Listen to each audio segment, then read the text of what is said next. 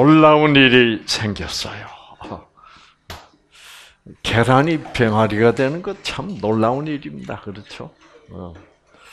그래서 여러분 우리 몸에서는 어떤 어떤 것도 복구될 수 있습니다. 자 여기 한번 보십시다. 우리가 활성산소 때문에 유전자가 손상을 입습니다.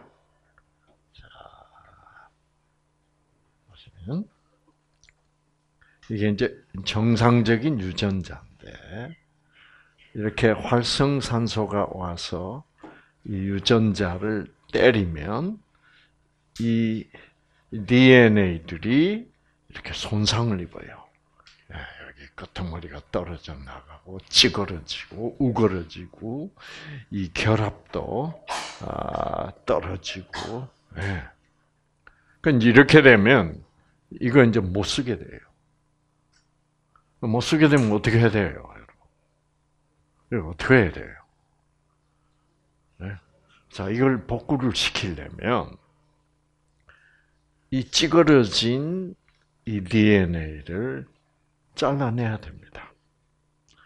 자, 그런 그런데 이게 어떻게 이 찌그러진 게 어떻게 되나 보니까 아 이런 찌그러진 DNA를 잘라내 먹어버리는 특수한 물질이 생산이 돼.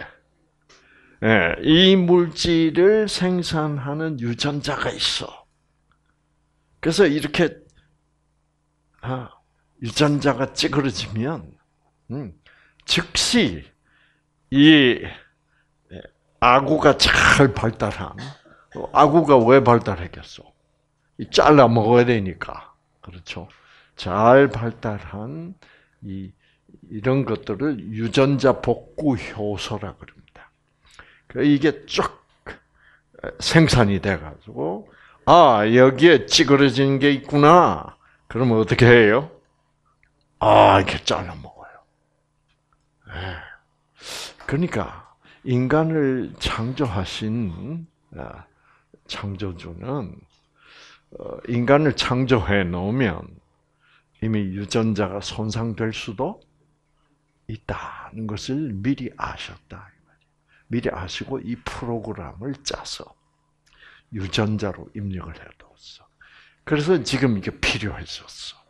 그러면 그 유전자 복구 물질 을 생산한 유전자를 유전자에 탁 신호를 보내면 이게 꺼져 있던 유전자가 어떻게 탁 켜지면서 이 아, 소방관 아저씨, 아구가 잘 발달 아저씨를 생산해서 가서 잘라 먹게 해.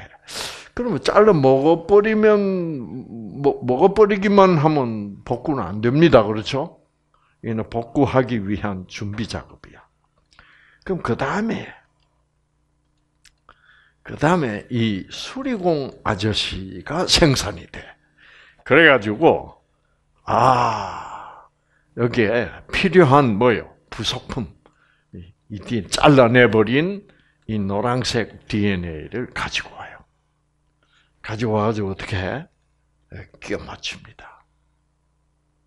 참, 이런 거를 뭐라 그래요? 귀신 고칼 노릇이라 그래요. 예, 우린 몰라. 모르는 동안에 다 이게 진행되고 있는 거예요. 음. 그래서 이제 이걸 끼워 맞춰 놓으면 그 다음에 이제 아, 마무리 공 마무리하는 이 아저씨가 실하고 바늘하고 들고 와서 어떻게 끼워 맞춰 놓은 거를 착 꼬매버려. 그러면 언제 망가졌다는 듯이 유전자, 망가진 유전자가 새 유전자로 착 회복. 그래서 여러분 암세포 안에 있는 망가진 유전자도 이런 식으로 회복될 수 있다 이 말이야. 음. 이렇게 되면 여러분의 암세포도 자꾸 정상화 되고 정상세포로 돌아간다 이거죠. 어. 그래서 여러분 어, 유전자가 찌그러졌어. 아, 비정상적인 암세포로 변하는 게 쉬울까요?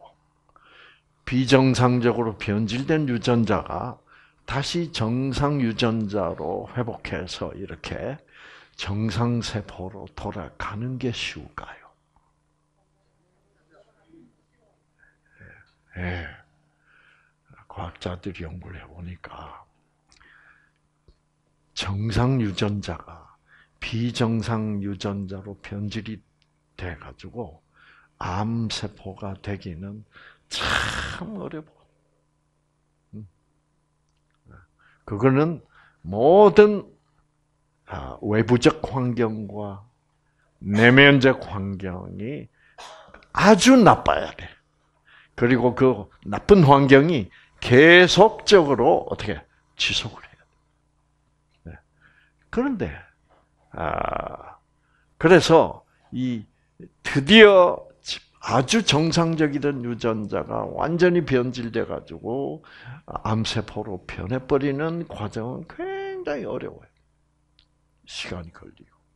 그런데 이 외부적 내면적 환경을 정상화해주고, 그렇죠? 다시 말하면 뭐예요? 내면적 환경을 정상화시키는 건 뭐예요? 내면적 환경을 정상화시켜 주는 것은 생명이죠. 아, 그것은 하나님의 뭐, 무슨 사랑? 무조건적 사랑. 무조건적 사랑이 들어오면 그게 이제 성령이 들어오면 정신님이 들어오면 잡신을 쫓아내고 악령을 쫓아내고 내 내부적 내면적 환경이 정상화되죠. 그래서 내가 원수진 놈도 어떻게 용서할 수 있고, 음. 이제 그렇게 내 내면적 환경이 변하는 거예요. 그래서 어, 생명이 와서 내 내면적 환경을 변화시켜 주고, 그 다음에 외부적 환경은 뭐예요? 식생활, 공기, 물, 운동, 휴식, 절제, 믿음. 네? 이, 아, 이 기본 여건이 잘 조성이 되면 내면적 환경을 변화시킨 생명이 이 이렇게 해서 변질된 유전자들을 어떻게 다 정상으로 회복되면 세포가 서서히 정상적인 건강한 세포로 돌아오면 암이 어디 갔는지 없어져 버리는 어, 그런 현상이 일어날 수 있다는 겁니다. 음. 그래서 여러분의 그 면역 세포가 조금이라도 강해지면 어, 정말 그 꺼졌던 암세포 죽이는 물질을 생산하는 유전자가 조금이라도 켜지면, 음, 켜지면, 아, 암세포들은 어떻게? 아, T세포들이 우리보다 강해졌다. 그걸 느끼면 암세포들은 어떻게 하는 줄 아세요? 숨습니다. 그래가지고, 어, 이 어, T세포들이 다시 약화될 때까지 기다려요. 어. 그래서 어, 다시 약화될 때까지 기다리는 동안에는 전혀 활동을 하지 않습니다. 그런 상태를 암 동면 상태라고 그래요. 음. 그래서 아마 어제쯤 해서 여러분 몸 속에 있는 암세포들이 동면 상태 들어갔으리라고 생각합니다. 아, 아. 그런데 누구의 암세포가 빨리 동면 상태로 들어가느냐는 여러분이 박수를 얼마나 강하게 치느냐에 달려 있다 아시겠죠? 네. 바로 그거예요. 어. 얼마나 뉴스타트는 즐거운 투병입니까? 그렇죠. 내가 즐거울수록 행복할수록 빨리 낫는단 말이야. 유전자가 빨리. 뭐. 그래서 자꾸 내 내면의 어두운 내면의 환경, 부정적인 내면의 환경을 쑥을 버리고 어떻게 그거를 거부하고 빨리 생명을 받아들이는 그런 여러분이 결심을 하시기를 바랍니다. 그래서 음, 그래서 암 세포들이 항상 그리워하는 게 고향으로 돌아가는 겁니다. 다시 말하면 정상적인 세포로 돌아가는 거예요. 그때가 가장 행복했을 때니까. 그래서 암 세포들끼리 모이면 제일 많이 부르는 노래가 있대요. 그게 뭐게? 내 고향으로 날 보내줘. 그 다음에 가고 파라. 내 고향 남쪽 바다로 가고 싶다. 그래서 이제 여러분이 근데 여러분이 자꾸 병원을 댕기면 어떻게 누구한테 더 좋아 좋아? 어? 네. 정상 세포들이 죽어나니까. 어. 그러니까 암 세포들이 정상 세포로 돌아갈 생각을 뭐요? 뭐 못하고 안 하죠. 네. 그러나 여러분이 New Start에서 생명을 받아들여서 내면적 환경을 다시 승화시키고 외부적 환경을 다시 어, 더 좋게 만들고 그러면 야, 야, 어, 뭐라 그러게 암세포들이 야 이제 고향으로 뭐예요 돌아갈 수도 있겠는데 그런데 또, 또, 또 어떤 부정적인 암세포들은 이렇게 말할 거예요. 야, 이거 옛, 어? 옛날에도 잠시 동안 이런 적이 있었어. 어. 그러더니 뭐, 결국 작심삼일이더라. 근데 이제 오늘은, 오늘쯤 되면, 야, 이거 3일이 지나도 뭐예요? 점점 더 즐겁네. 점점 더 박수를 더 잘 치네. 네. 음. 네. 네. 점점 더 내면의 환경이 밝아지고 어, 첫날 둘째 날 와가지고는 아 이거 밥하고 반찬 이거 싱거워서 이거 어떻게 먹나 이래 쌌더니 이제는 야 이거 자꾸 먹으니 맛이 괜찮네. 네. 네. 이런 생각이 이제 여러분이 들어갈 때 그것은 여러분의 암세포들이 그쯤 되면 암세포들이 뭐하게?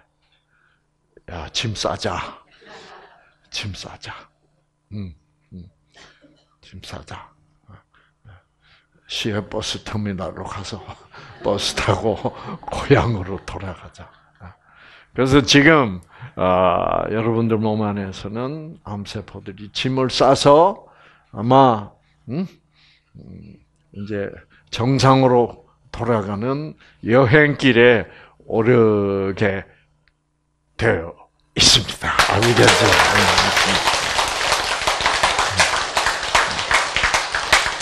그러니까, 아, 그러니까 아, 상환이나 상환이 누나 같은 그런 결과가 나오죠. 그렇게 망가져도 네. 반드시 이 우리 몸 안에는 회복하도록 하는 프로그램이 프로그램을 창조주가 짜놨습니다. 그래서 놀랍게 회복하는 거예요. 상환이처럼 아, 그렇게 어릴 때 스테로이드를 막 그 얼굴이 막 이렇게 부었잖아요. 그게 다 스테로이드 부작용이거든. 그래서 왜 스테로이드를 그렇게 썼냐고 하면 상환이 병이 그게 자가 면역 성병이에요. T 세포가 변질이 돼 가지고 어, 어, 그, 어, 자꾸 자기 콩팥을 공격하니까. 그래서 이제 병원에서 스테로이드제를 주면 T세포를 자꾸 죽여요. 예. 그러면서 부작용이 이렇게 막 얼굴이 붓고 막 이런 거예요. 예.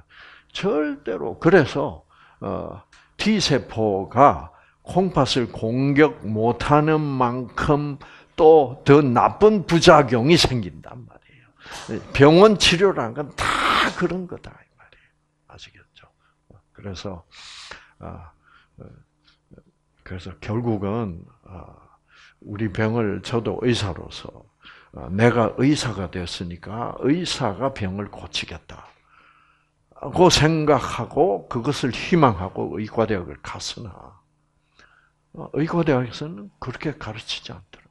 의과대학에서는 정직하게 가르쳐요. 어, 병 고칠 수도 없으면서 병 고칠 수 있다고 가르치는 곳이 의과대학이 아닙니다. 어, 의과대학은 정직하게 우리는 의사로서 약물로나 이 의술로서는 병을 치유할 수는 없다라고 가르칩니다. 가르치고 결국 우리가 사용하는 이런 항암제나 이런 모든 자 여러분 생각해 보세요. 고혈압 환자가 얼마나 많습니까? 환자. 제가 어, 옛날에 제가 의과대학 다길 때는요. 사람의 정상 혈압이 뭐냐? 그러면 정상 혈압은 나이에다가 90을 보태면 정상 혈압이 나온다. 이렇게 배웠어요, 세상에. 그러면 지금 이상구의 혈압은 77에다가 90을 더하면 167이요. 그럼 그거는 아주 심각한 고혈압이야. 그런데 그 당시는 뭐 77세까지 사는 사람 별로 없었다고. 그게 고혈압이면 77세 죽어야지 뭐. 그게 정상 혈압이라면 그렇죠. 근데 오늘 아침에 딱 재보니까 123에 70이야. 그것은 내가 어떤 생활 습관으로 어떤 생각으로 사느냐에 따라서 나이하고 상관이 없다면 자꾸 우리는 나이 나이가 병을 일으킨다. 그렇게 생각해드렸습니다. 그런데 여러분이 배워보면, 의학을, 의학 깊이 들어가 보면, 내가 정말 정상적인 생활 습관으로, 그리고 내 생각으로, 어, 정신 차리고 살면, 나이 때문에 병드는 것은 없어요. 그래서 건강하게 사는 사람, 음, 예를 들어서 성경에 보면 예, 모세라는 사람이 나옵니다. 어? 이 모세가 아, 아, 이제 120살에 죽습니다. 근데 늙어서 병들어서 죽어요? 아니에요. 어, 어, 그날도 죽는 날도 어디로 올라가서 아, 산에 올라가서 높은 그 느보산 또는 비스가산이라는 산에 가서 어, 이스라엘 백성들이 앞으로 곧 들어갈 그 갈릴리 땅을 그 산 꼭대기에서 봅니다. 그래서 하나님 그걸 보여줘요. 그리고 모세야, 나는 그동안 수고했다. 이제 잠들어라. 그래서 스위치를 어떻게? 어, 그러니까 모세가 살아 있는 게 왜 살아 있어요? 하나님이 주는 생명으로 살아. 그런데 하나님이 그 스위치를 어떻게 착 내리면 모세는 탁 갑니다.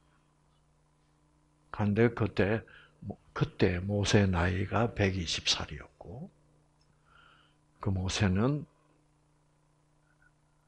어, 눈도 잘 보였고 기력이 기력이 쇠하지 아니하였 기력이 쇠해서 죽는 게 아니에요. 하나님이 이제 뭐예요? 너는 내가 너에게 맡겨준 사명은 어떻게? 네가 여기까지다. 이제 너는 이제 수고하지 말고 지금 여호수아와 갈렙에게 맡기고 너는 잠들어라. 그래서 가는 거예요. 그래서 옛날부터 우리 한국에서는 모든 이 유전자가 변질돼서 생기는 질병들을 성인병이라고 불렀습니다. 성인병이란 말은 무슨 말이에요? 성인들이 걸리는 병이란 말이야. 그 말은 결국 원인을 모른다는 얘기입니다. 아, 성인이 되니까 걸리더라. 그러니까 성인이 되면 혈압도 정상적으로 뭐요? 160이 된다는 거야. 어. 그러면 죽어야지. 네. 그렇죠? 그러니까 아, 근데 그래서 성인병이다. 그것은 나이가 들면 걸리는 병이다. 이런 식으로 생각했어요. 그래서 여러분의 마음 속에, 우리들의 마음 속에 나이가 들면 다 아프고 병든다. 그런 생각이 확 이렇게 배어 있습니다. 그런 생각을 떨치기가 보통 일이 아니에요. 그래서 이 뉴스타트로 다시 이 새로운 지식, 새로운 진리로 다시 완전히 씻어내야 돼요. 이 거짓을. 그러기 전까지는 참 그래서 이 이 아, 아, 이 뉴스타트 강의를 여러분이 착실하게 자꾸 어, 정말 세부적으로 듣고 세부적으로 이해해서 여러분이 다른 사람들에게 예, 전달해 주면 큰 힘이 됩니다. 와 그렇구나. 어, 어. 너 어디서 공부했냐? 어, 그러면 어, 어, 뉴스타트 대학에서 공부했다 그러세요. 음, 음, 음. 그래서 음. 그러다가 아, 가만 보니까 성인병이 아니야. 그렇죠? 왜? 20대에도 당뇨 걸려. 어. 20대에도 고혈압 걸려. 30대도 중풍 걸려. 아하, 이게 성인이 돼야만 걸리는 병이 아니라, 나이가 중요한 게 아니라, 뭐가 더 중요하구나? 생활 습관이 더 중요하구나. 결국 생활 습관이란 건 뭐예요? 본인들의 선택이에요. 내가 어떤 식생활 습관을 선택할 것이냐. 내가 부정적으로 생각할 것이냐. 그 이게 모든 게 그 생활 습관 속에 그게 들어있잖아. 그 생활 습관이 나쁘니까 병에 걸린다. 그래가지고 성인병이라는 명칭을 공식적으로 취소시켰습니다. 더 이상 의사들이 성인병이라는 명칭을 사용하면 그 무식한 의사예요. 그래서 생활 습관병이라고 바뀌었는데 나중에 또 알고 보니까 뭐예요? 이게 다 유전자가 변질돼서 생기는 병이야. 그러니까 무엇이 유전자를 변화시킨다는 걸 알게 된 거예요. 생활 습관이 결국 생활 습관이라는 것은 선택이라고 그랬습니다. 그렇죠? 결국 과학자들이 결론 결론을 낸 게 뭐예요? 유전자는 우리의 선택에 따라서 변하더라. 라는 결론에 도달한 거예요. 그러니까 여러분이 이 뉴스타트에 오셨고, 이것을 생명을 선택하셨고 어, 기본 여건을 내가 어, 공급하기로 선택하셨다. 그 선택만 정말 선택하신 대로 밀어붙이면은 유전자는 회복하게 되어 있다. 되어 있다. 그래서 이왕 여러분 한번 생각해 보세요.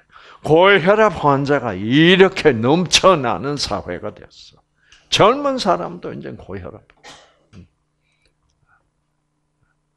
그래서 어, 어, 그참 놀라운 일이에요. 어, 이제는 뭐 30대 중반 되면 그, 그, 고혈압이야. 근데 자, 그래서 혈압약처럼 잘 팔리는 약이 없어요.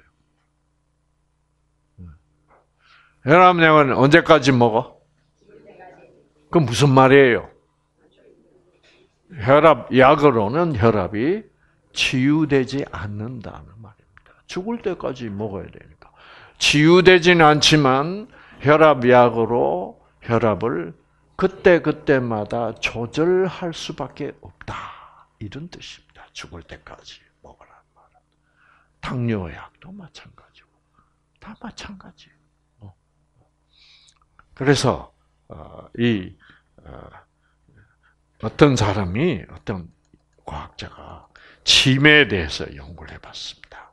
치매. 음. 이 연구 결과가 아주 놀라워서 Time 잡지에 이렇게 대서 특별 특집으로 보도가 됐습니다. 예. 아, 이 스노든 박사라면 그 University of Kentucky 치매를 연구하는 학자인데 이분이 수녀님들을 대상으로 연구, 치매 연구를 했어요. 왜냐하면 이 다른 사람들은 어, 이 처해 있는 그 현실의 상황이 다 너무 너무 너무 너무 달라요. 그렇죠? 음.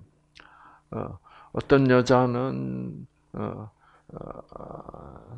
착한 시어머니 그리고 남편도 착하고 뭐 이렇게 또 어떤 여자는 뭐 시어머니를 잘못 만나서 맨날 스트레스 받고 사람들마다 다 상황이 다르기 때문에 예, 치매 연구를 할 수가 없어요. 어. 그런데 이 스노든 박사가 생각하기를 어, 수녀님들을 대상으로 어, 어, 치매를 연구를 하면 그래도 뭐예요? 종교도 같고 생활 방식도 뭐예요? 다 단체 생활을 항상 하고 있기 때문에 예, 예.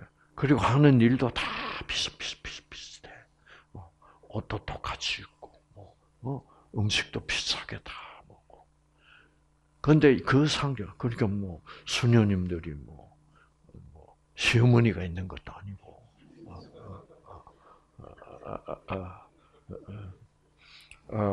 또 뭐 뭐 꼴통 남편이 있는 것도 아니고 어, 그렇잖아요.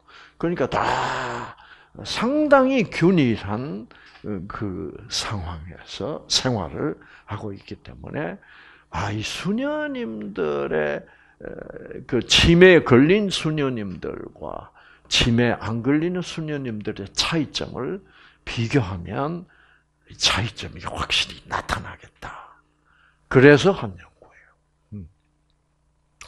그래서 뭐, 어, 뭐 더운 지방의 수녀님들이 어, 치매 더잘 걸리냐, 추운 지방이냐, 뭐 건조한 지방, 습한 지방 이런 외부적 환경에 따라서 치매가 더 잘 걸리고 덜 걸리고 하는 것을 어, 찾아보려고 아무리 애를 써도 외부적 환경은 상관이 없어. 음, 그 차이 없어. 결국은 이제 이 스노든 박사가 아, 주시한 것이 뭐게? 내면적 환경입니다. 어. 네. 그래서 이제 수년 중에서 또 일찌감치 어, 뭐 50대 후반부터 막 어, 기억력이 급격히 떨어지고 그 치매가 상당히 빨리 오는 수녀님들도 있고 그런데 또 한편으로는 저기 작은 사진에 나온 것처럼 이 고참 수녀님들인데 다 은퇴하고 그랬는데도 기억력이 뭐예요? 생생하신 어, 그런 수녀님도 있고, 어, 그래요. 그래서 그 차이가 왜 날까? 음. 그래서 이 수녀원 당국에다가 협조를 요청했습니다. 어, 어 일기장을 내면을 보려면 뭐예요? 일기장을 봐야 돼요. 그래서 수녀원에서 아주 기꺼이 어, 예, 치매 치매 연구를 해서 어, 예, 온 세계 인간들이 도움을 받을 수 있는 연구라면은 우리 어, 그래서 이 일기장을 어, 보도록 허락을 했어요. 아주 놀라운 결과가 나타났어. 음. 어, 기억력이 생생한 어, 나이가 벌써 뭐 80이 가까워도 70 중반이라도 기억이 생생한 수녀님들의 특징은 일기장이 빡빡하다는 거. 그 일기를 주로 많이 썼고, 어, 그리고 그 일기장 내용을 들, 뭐, 들여다보면 하루하루 생활을 뭐 있게 예, 의미 있게, 의미 있게 보내서. 그러니까 쓸 말도 많아. 아, 그래서 오늘은 어느 병원에 어, 누구 누구를 찾아가서 어, 위로도 해주고 어, 도와주고 기도도 해주고 아, 그래서 그분이 아, 잘 회복할 수 있도록 하나님 도와주세요. 이런 기도도 하고. 아, 그러면 이제 그분이 자꾸 좋아지면, 아, 기쁘다는 말도 쓰고, 그 다음에, 아, 그분이 아주 건강하게 퇴원을 했다. 난 너무 기쁘다. 하나님 감사합니다. 이런 뭐예요? 진선미가 넘죠. 예. 그런 내용이 많은 수녀님들은 아 이렇게 나이가 들어도 치매가 안 와. 근데 이제 어떤 수녀님들이 젊을 때부터 치매가 많이 어, 시작하네 하면 아 오늘 하루도 의미 없이 지나가는구나. 나는 왜 수녀가 됐을까? 아, 옷 벗고 나갈까? 나가도 갈 데가 없구나. 이제 이래, 이게, 아무, 그러니까 유전자는 무엇에 반응한다? 뜻에 반응한다. 뜻이 없는 삶을 살게 된다. 음. 그래서 여러분이, 예, 예, 나이가 들어서, 어, 저는 은퇴할 생각은 없거든요. 저는 이게 일이야. 저는 옛날에 39살 때부터 현대의학으로부터 은퇴해버렸어요. 아, 아시겠죠? 그래서 여러분이 은퇴를 하면 절대로 은퇴를 하면 안 돼. 그 퇴자가 아주 나쁜 자야. 그이 미국 말이 참 좋습니다. 아, 미국 말로 은퇴는 퇴가 아니에요. 퇴가 아닙니다. 은퇴란 말 얼마나 나빠요. 은은 뭐예요? 은. 숨는다는 거요. 숨어서 퇴한다 이거야. 이 얼마나 나쁜 말이야. 그 긍정적이요, 부정적이요. 예, 절대로 여러분 은퇴하면 안 됩니다. 아시겠죠? 예, 여러분이 은퇴를 하시려면 반드시 새로운 내가 앞으로 흥미를 가지고 연구할 새로운 분야를 개척해야 돼. 그래서 반드시 네, 내가 아 이거는 내가 생각하고 내가 요즘 여러분 새로운 분야에 들어가서 연구하기 아주 잘 돼 있어요. 구글만 들어가면 막 이 지식이 쏟아지기 때문에 여러분이 막 흥미진진한 것을 많이 배울 수 있어. 네. 그래서 근데 제일 흥미로운 것 중에 분야 분야 중에 제일 흥미로운 분야가 뭐게? 뉴스타트지. 네. 네. 이거는 흥미로울 뿐만 아니라 실제로 내 자신의 유전자 영향을 미치고 이거를 내가 연구해서 더 깊이 깨달아서 상대방에게 얘기해 주면 상대방 유전자도 켜지고 어, 그런다니까요. 그러니까 그런 좋은 인사를 많이 받을 겁니다. 음. 어, 그래서 제가 그 책을 써놨잖아요. 책도 연구를 하고 또 그 외에 예? 이 구글 들어가서 다 의문 나면 질문 탁 치면 그 대답이 쫙 나와 있어. 무슨 질문이든지. 예. 예.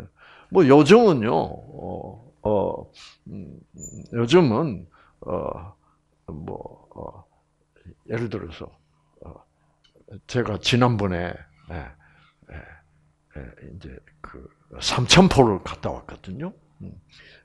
그래서 삼천포에서 집회를 끝내고 어 이제 그 대구 바로 옆에 있는 경산 어, 그래서 뭐 구글 들어가서 삼천포에서 경산까지 거리는 탁 치니까 딱 뜨더라고 지도하고 딱 떠가지고 어 그 거리는 얼마고 뭐 버스로 가면 몇 번 걸리고 뭐다 다 나와 얼마나 좋아요?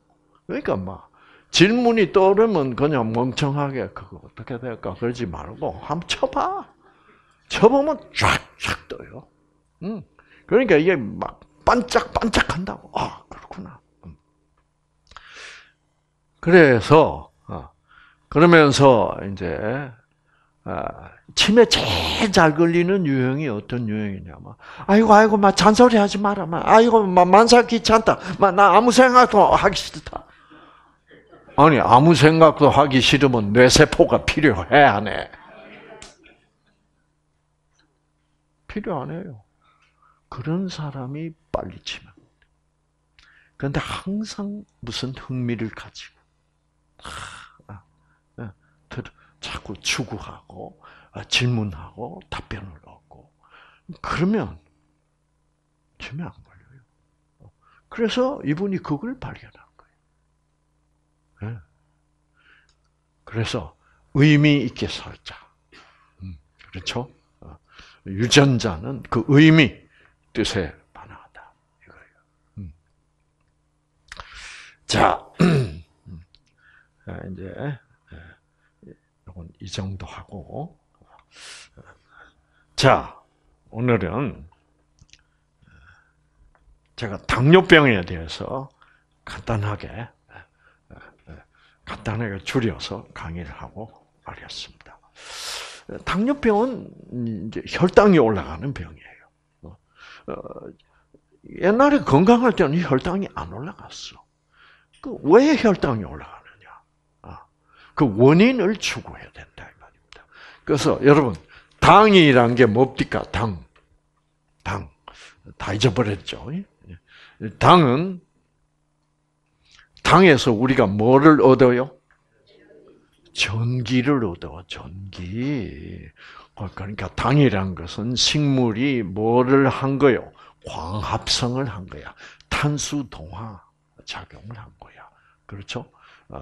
어, 공기 중에서 받아들인 탄산가스에서 나온 탄소와 뿌리에서 뭐요? 물을 빨아들여는 그거를 화합을 하면 탄수화물이나. 그 탄수화물이 당분이야. 그 당분이 가지고 있는 것은 그 탄소와 물을 화합하는 데 사용하는 태양으로부터 온 전기 에너지를 가지고 있는 거예요. 그래서 우리가 탄수화물 을 먹으면 어, 전기 에너지만 몸에 남고 탄소는 탄산가스로 변해서 나가버리고 물은 소변과 땀으로 어떻게 나가버린다. 그래서 우리에게 남아 있는 거는 에너지, 전기만 남아. 그래서 그 전류가 우리 몸을 흐르는데 그 전류의 흐름, 그 전류의 결, 파동에 따라서 우리의 건강 상태가 결정된다. 그건 그 전류의 결은 뭐가 지배한다?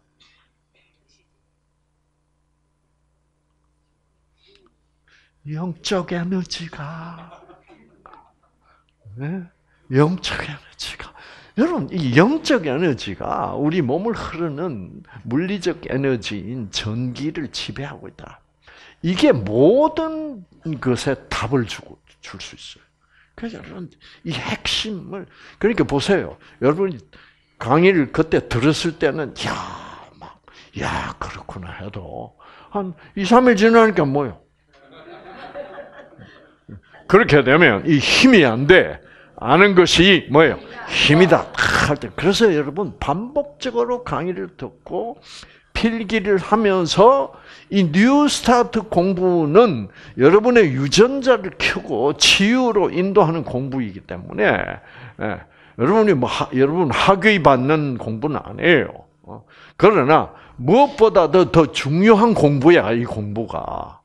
그래서 공부 열심히 하시기 바랍니다. 음, 그래서 아, 그래서 이제 그 여기 이제 모세혈관, 모세혈관, 모세혈관에 이제 피가 통하는데 여기에 이제 적혈구가 있죠.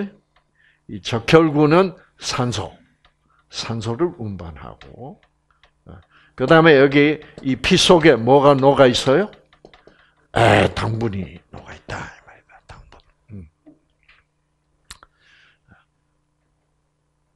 그런데 이 당분은 이제 어디로 들어가야 돼? 세포 속으로 들어가서 세포 속에 있는 어디로 가야 돼?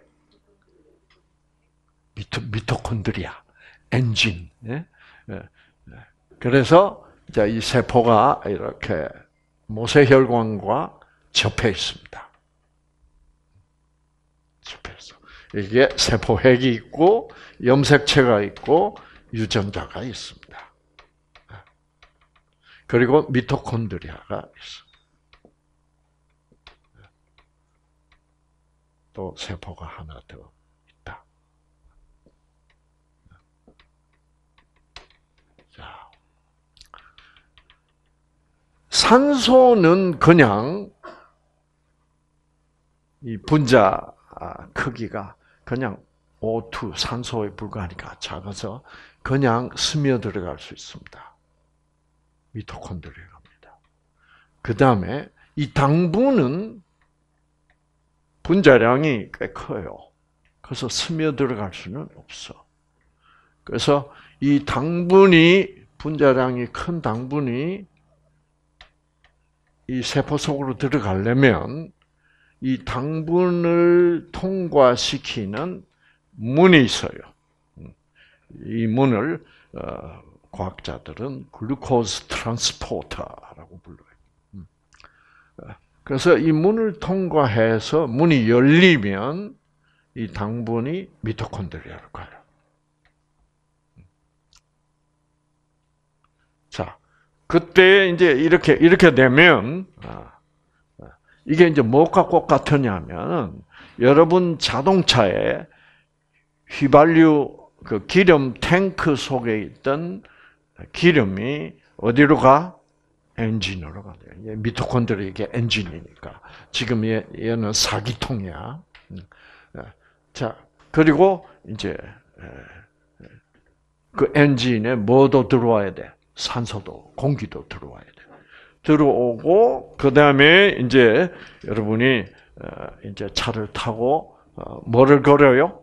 시동을 딱 걸면 시동을 걸면 엔진에 스파크가 찌찌찌 하고 들어가는 거예요.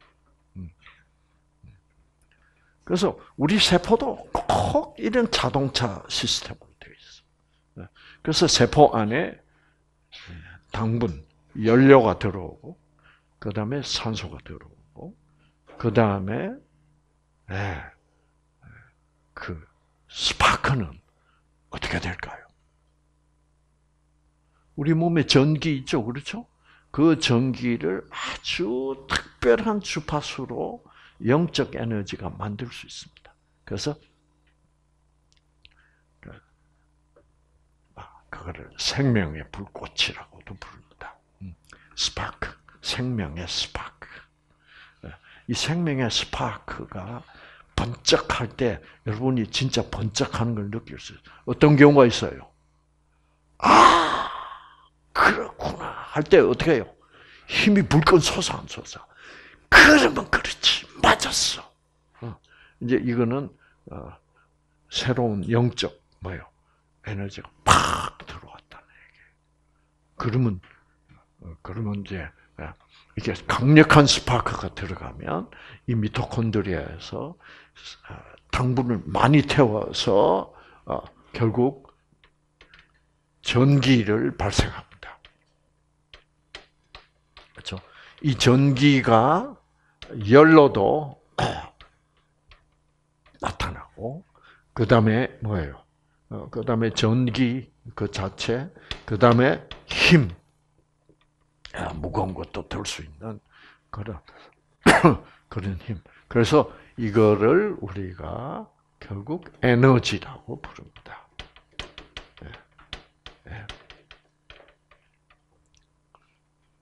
그래서 여기서 이, 스파크를 생기, 생기는 생명이죠. 그렇죠? 어, 생기. 예. 그래서 어, 이 에너지를 그냥 기라고 부르기도 합니다. 어, 그래서 이 에너지가 넘치는 사람은 뭐가 넘치는 사람이야? 생기가 넘치는. 생기에 예, 생기가 넘치는 사람은 진 진리에 감동을 받은 사람, 깨달은 사람, 감사하는 사람, 선에 감사하는 사람, 아름다움에 감동을 받은 사람. 예. 그 진선미가 다 합치면 바로 그것이 무조건적 사랑이다. 무조건적 사랑만큼 우리를 감동시키는 것은 없습니다. 그렇죠. 그게 최고의 진선미의 최고 수준에 있는 거죠. 자, 이래서 이 에너지를 생산해서 우리가 살아갈 수 있어요. 그런데 이제 당뇨병에 걸렸다 걸리면 이 혈당들이 혈당 수치가 쫙 올라갑니다. 왜 올라갈까? 이 문이 안 열려요. 당뇨병 환자는 문이 안 열려. 그러면 문이 왜 안 열리는가를 봐야지. 그렇죠. 그래서 문이 왜 안 열리는가 보려면 문이 정상적으로는 어떻게 열리는가를 알아봐야 될 거 아니에요. 그렇죠. 그래서 알아보니까 참 희한하게 돼 있어요. 음, 꼭 엘리베이터처럼 돼 있어. 여러분, 어, 시골 할아버지가 올라와서 이 문이 왜 안 열리냐고 엘리베이터 문을 어, 어, 이래 봐야 열릴 리가 없죠. 뭐를 눌려야 돼? 예, 그 스위치 탁, 역시 스위치, 초인종 스위치가 탁 있는 거야. 딱, 그러니까 참, 이 창조주께서 우리 몸을 지극히 과학적으로 만들었어. 그래서, 그럼 스위치가 있다 뭔가가 와서 눌러야 될 거 아니에요. 그렇죠?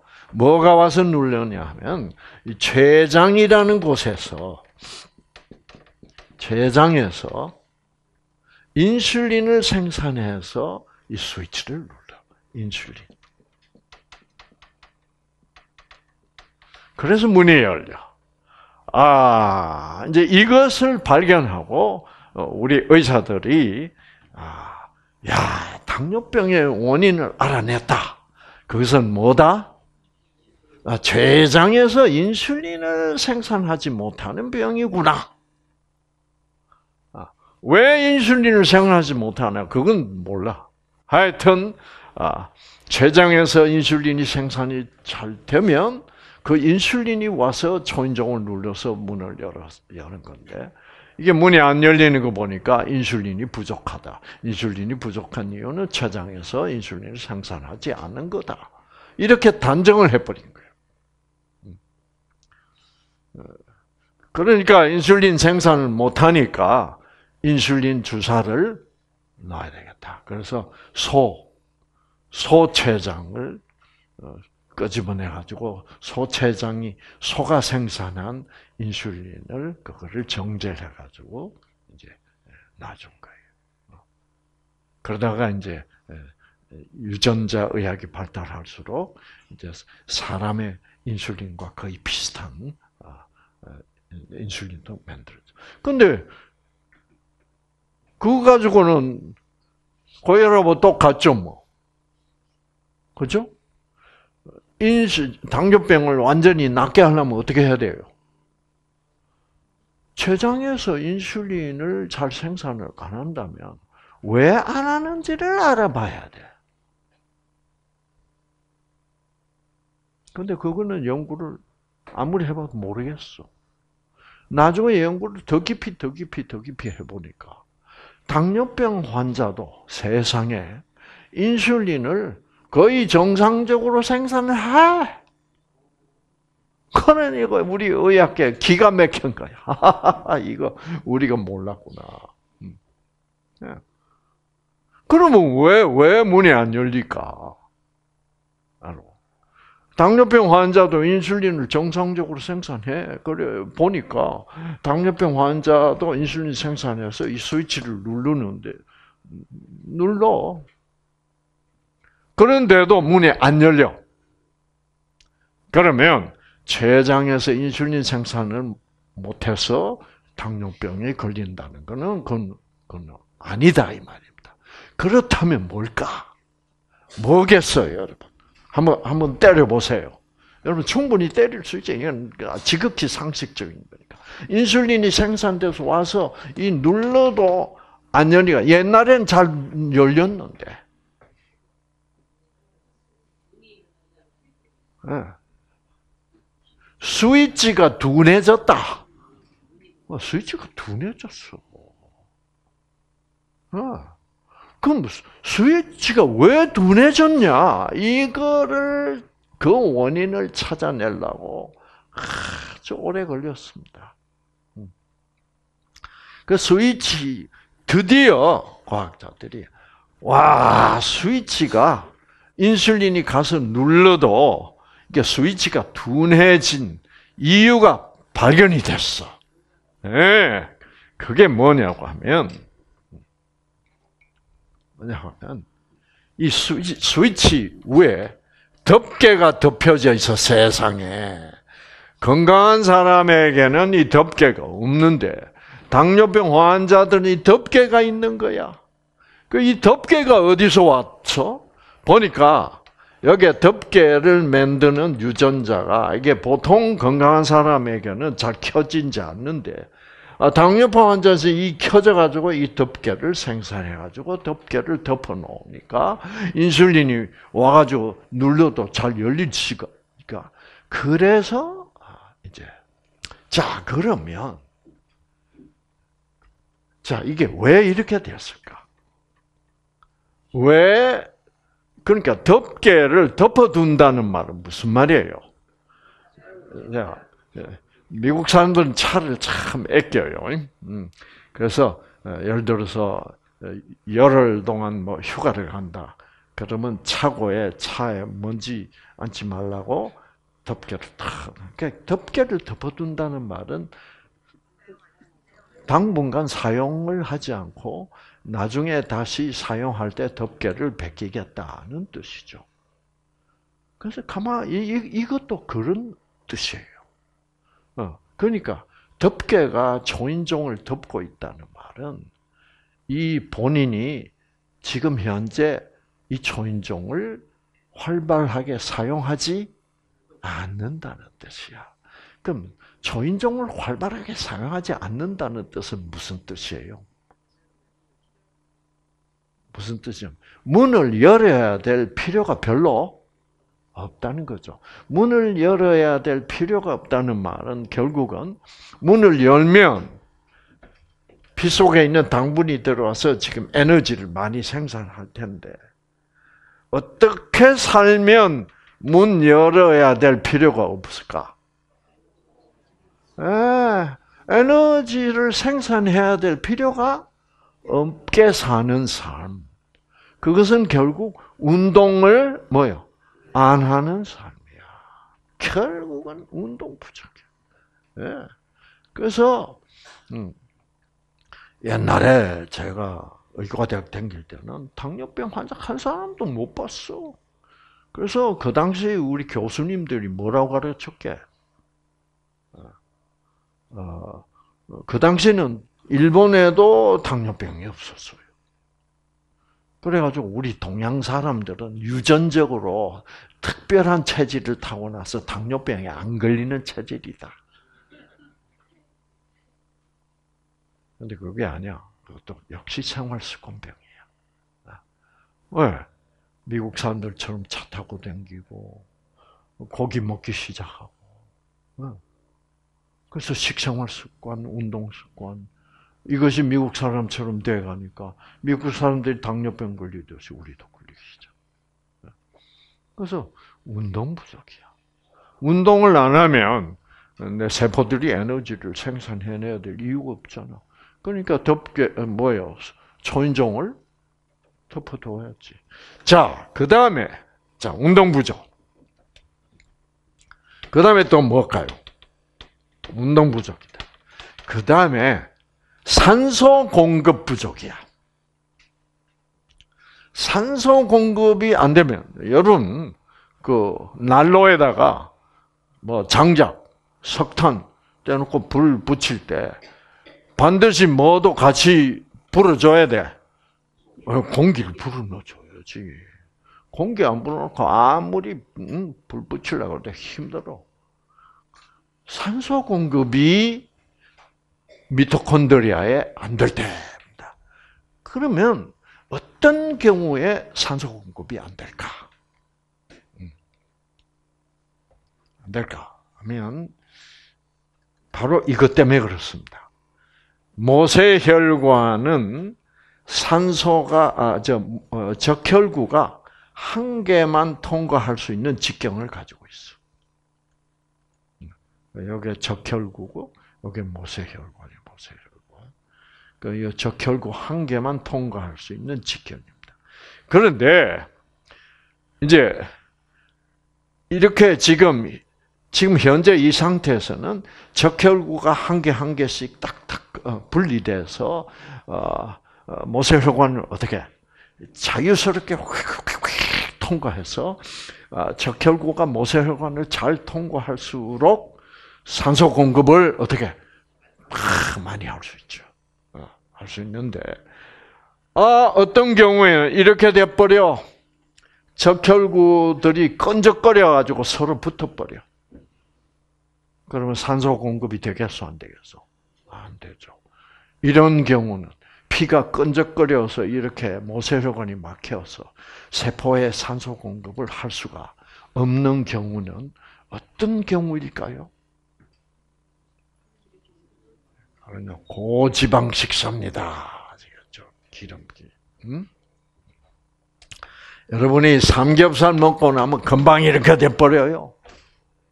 네.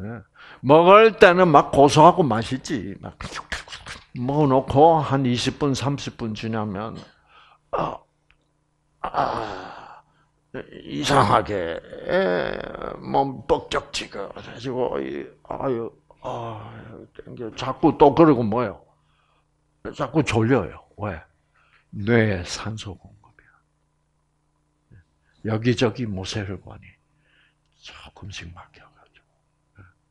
그래서 참 그 삼겹살이란 건 그건 음식으로 취급하면 안 돼요. 그래? 정말이에요. 그래서 성경에서는 성경에서는 뭐 돼지고기를 먹지 말라고 그러지만 특히 무슨 고기든지 기름 덩어리는 먹지 말라. 아시겠죠? 그래서 뭐 그러면 뭐 틀림없이 이렇게 돼버려요. 그래서 그 다음에 이제 튀긴 음식. 예. 아, 요즘 젊은이들 막 라면에다가 막, 막, 튀긴 거 얼마나 많이 먹어? 그렇죠. 그큰 문제예요. 그렇게 되면 이 세포들의 산소 공급이 부족하면 세포들이 그 같은 어떤 오염 물질, 발암 물질이 외부로부터 들어왔을 때 이렇게 산소 공급이 안 되는 상태에 있는 세포들이 빨리 더 빨리 암세포로 변해요. 그래서 어, 고지방.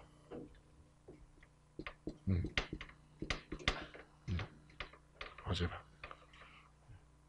자, 그 다음에 이제 또 당뇨에 이 문이 안 열리고 혈당이 올라가는 이유 중에 또 뭐가 있을까? 여러분 이 그림을 보면 말씀하실 수 있지. 생기 부족. 생기 스파크가 와서 부지런히 어떻게 당분을 태워야 돼요. 연소시켜야 돼요. 그런데 생기 부족은 어떤 경우에 생기 부족이에요? 그렇게 얘기해도 안 돼. 기가 막힐 때. 그러니까 결국 뭐예요? 스트레스가 많을 때. 그런데 이제 현대인의 생활이 다 이렇게 스트레스가 너무 많아졌고, 어? 예, 그리고 막 기름기 있는 고지방 식사를 많이 하게 되고 자동차 타고 다니면서 운동량이 줄어버렸고 옛날에 우리 때는요 막 무지무지하게 걸어댕겼어 네. 버스 탄다고 해도 어떻게 버스 정류구장까지 가는데 30분 걸려 그러면 또 내려서 목적지까지 뭐요 가는데 또 30분 걸려 네. 그래서 그때는 온 대한민국 국민 중에 당뇨병 있는 사람 한 사람도 없었다 이 말이야. 그때는요 기름기 얻어 먹는 거, 아, 그때는 소고기국, 음, 음.